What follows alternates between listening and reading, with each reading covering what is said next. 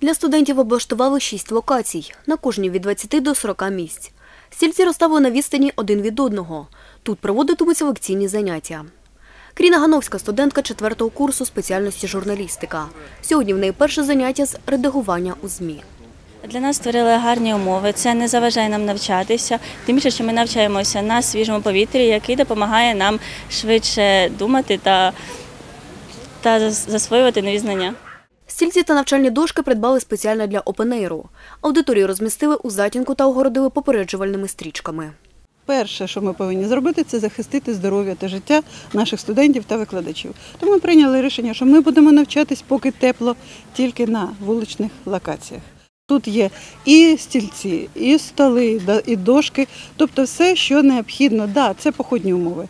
Ми, я розумію, ми всі навчаємось. І я не впевнена, що це добре чи це погано. Але це, хоч в якійсь, якійсь мірі, е, зменшує той ризик, на який ми зараз всі наражаємось. Валерій Навроцький викладає предмет інформаційні системи та технології.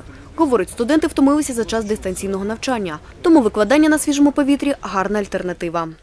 А їм необхідно спілкування безпосередньо, дивлячись в очі з викладачами. Так, є деякі нюанси. І, скажімо, ті предмети, які ми вичитуємо, особливо я, інформаційні системи, вони потребують технічних умов. Але ми підготували ці технічні умови у нас є. У нас ці предмети виносяться на вулицю. Ви бачите, що це локація дуже, е, скажімо так, е, комфортна для студентів. До цього потрібно звикнути. Але це і є і європейський опит. Це і європейські країни зараз таким чином займаються. Ми беремо з них приклад. В університеті навчатиметься у дві зміни близько трьох тисяч студентів.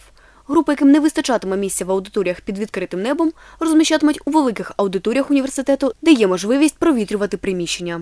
Раніше ми сиділи в аудиторіях, це спека, місця мало, а зараз тут дотримується дистанція, свіже повітря. Це набагато краще, ніж було раніше.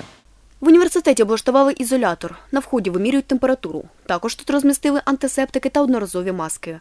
В наявності тисяча штук. Вход університету для студентів університету саме тут. Його обладнано е, корзиною для е, ну, масок використаних засобів індивідуальної защити. На вході в вільному доступі є антисептик, є маски. Якщо студенти, ну він може його забути, він може десь його загубити. Якщо щоб у студента була можливість отримати це все. Світлана Кльосова, Ігор Чорний. Новини на Суспільному. Миколаїв.